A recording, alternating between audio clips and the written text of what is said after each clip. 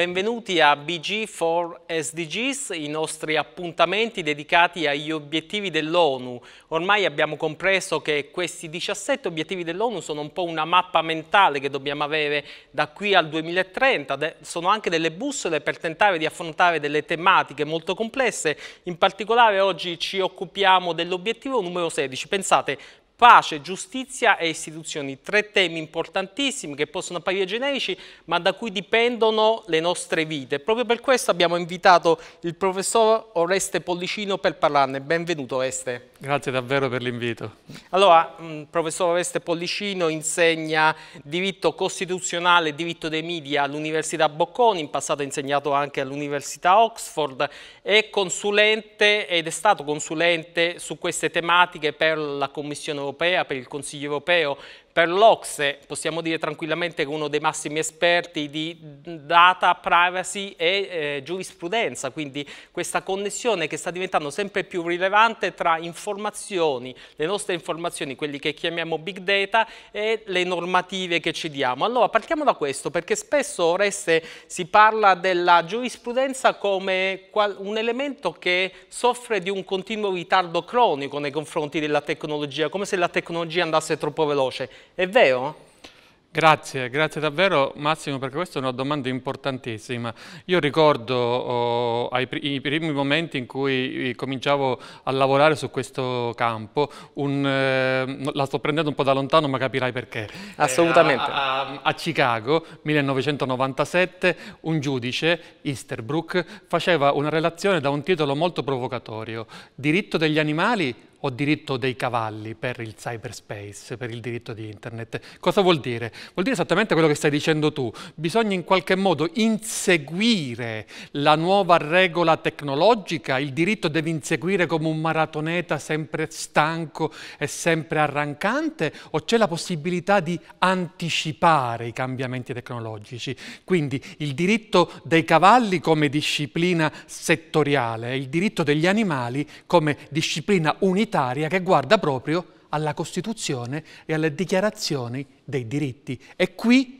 le Nazioni Unite ci vengono in soccorso perché la dichiarazione dei diritti dell'uomo delle Nazioni Unite del 1948 ci parla già della libertà di informare, di esprimersi e di essere informati. Quindi ci dice praticamente che il problema della disinformazione già nel 1948 era un problema esistente. Chiaramente va rimodulato oggi rispetto al nuovo problema tecnologico rispetto al digitale che amplifica la disinformazione, ma attenzione, è inutile inseguire e pensare a nuove disposizioni normative quando abbiamo già le nostre bussole. Le bussole sono o le Costituzioni o nel caso delle Nazioni Unite la Dichiarazione dei diritti del 48.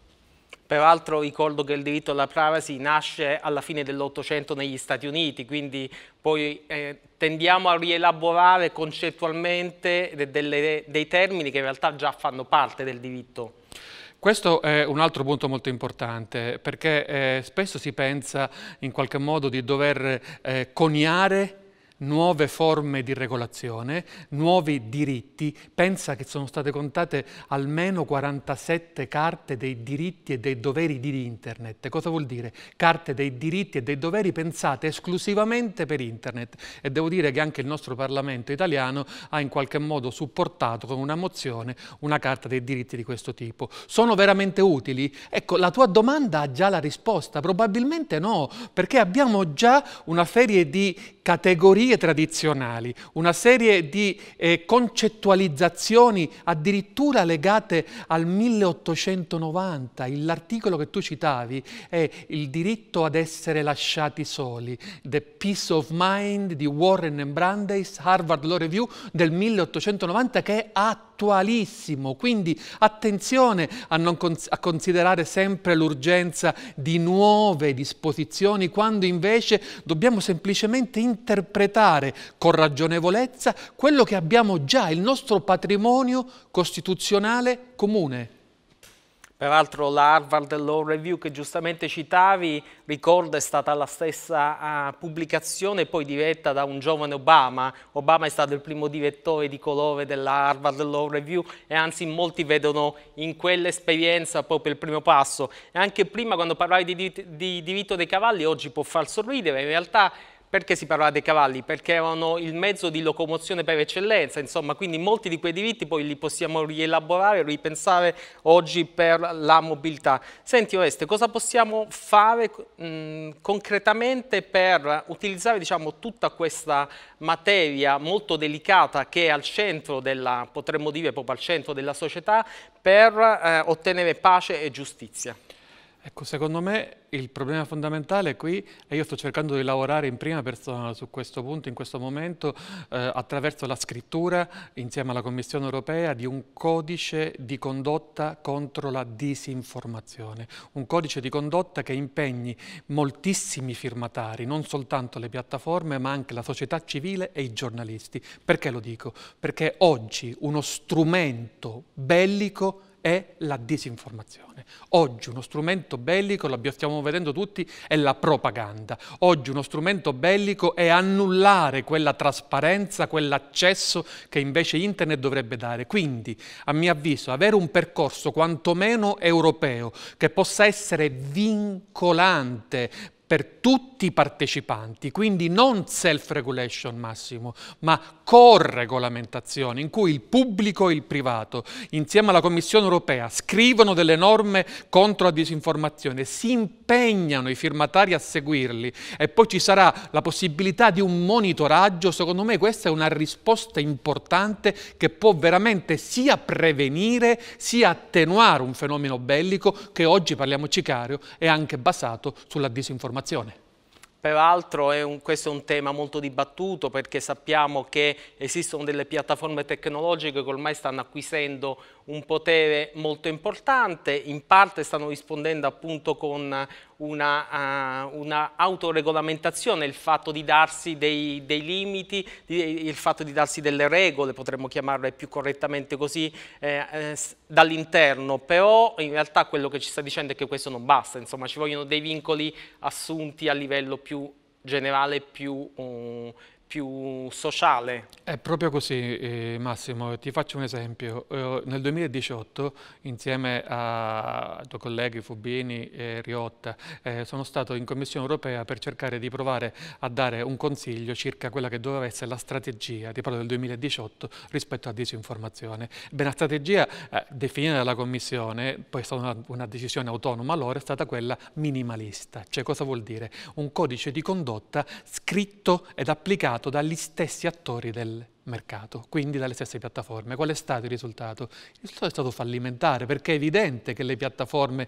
non scriveranno mai nulla che possa alterare il modello di business. Quindi cosa si sta facendo ora, quattro anni dopo? Si sta facendo un nuovo percorso, cioè la Commissione adotta delle linee guida che sono vincolanti, sono la bussola, sono di fatto la stella cometa per cui queste regole devono essere scritte sulla base di quanto previsto dalla Commissione. Quindi non so come dire, non è più un processo autoregolatorio, ma soprattutto autoreferenziale, ma c'è comunque un dialogo e io sono fiducioso che se questo dialogo può finalizzarsi, avremo veramente il primo codice europeo contro disinformazione che può essere un modello anche globale, perché al momento nessun altro continente sta facendo questo esperimento, però vedremo alla fine, perché come dicevi giustamente tu, l'insidia è sempre lì all'angolo.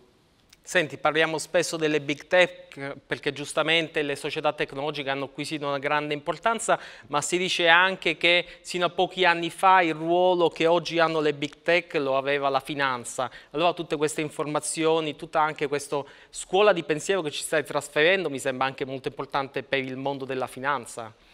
È importante nel mondo della finanza, è importante perché eh, bisogna stare sempre molto attenti a non separare ciò che sembra differente ma che in realtà ha delle connessioni. E il mondo della finanza, a cominciare dal fintech, no? a cominciare da tutti quelli che sono gli strumenti tecnologici oggi per poter guidare gli strumenti finanziari, hanno bisogno di un concetto fondamentale, quello della trasparenza. La trasparenza è fondamentale per quale motivo? Sembra ovvio, ma per cercare di alimentare la fiducia dei cittadini che sono anche utenti e sono anche investitori. Quindi il concetto di trasparenza è veramente il valore fondante del nuovo laboratorio digitale europeo, anche quello finanziario forse nella nuova società non c'è più così eh, diciamo, una netta separazione tra utente, cittadino, consumatore e investitore, insomma in qualche maniera dobbiamo immaginare che la digitalizzazione abbia anche un po' fuso questi concetti. Bravissimo, io la chiamerei un'ibridazione, cioè c'è sicuramente una forma di, come dire, di mancata autonomia concettuale tra questi ruoli. Si sono sicuramente ibridizzati e quindi cosa vuol dire? Vuol dire trovare una disciplina che possa essere omnicomprensiva? No, però bisogna stare anche attenti ad evitare la frammentazione normativa, perché è evidente che se si tratta di trovare dei singoli canali per il singolo ruolo, allora qual è il problema? Il problema è che la certezza del diritto chiaramente va a essere attenuata. E se nel mercato digitale europeo viene meno la certezza del diritto, viene meno tutto perché si basa la questione fondamentale è la fiducia che non il grande gigante, ma la singola startup deve avere in una prevedibilità. Se non c'è questa prevedibilità, il mercato digitale europeo muore, muore con tutto quello che muore chiaramente attorno a lui, a cominciare dalla possibilità di avere veramente quella trasparenza di cui ti parlavo. Senti Oreste, un ultimo tema che però sentiamo spesso citare in Italia, appunto visto uh, che hai parlato di importanza di garantire proprio eh, la, la, legge, garantire il rispetto della legge. In Italia sul ritardo eh, giurisprudenziale stiamo facendo dei passi in avanti? I passi in avanti direi che sono pochi, a mio avviso sono pochi per un motivo molto semplice, c'è una inerzia legislativa e l'inerzia a cosa è dovuta? Al fatto che si pensi che vi sia una a, a, a presunzione di obsolescenza. Cosa voglio dire in termini concreti? Voglio dire che si pensa che la, la, normativa adottata può diventare obsoleta qualche giorno dopo, ma non è così, non è così. Ti faccio un esempio.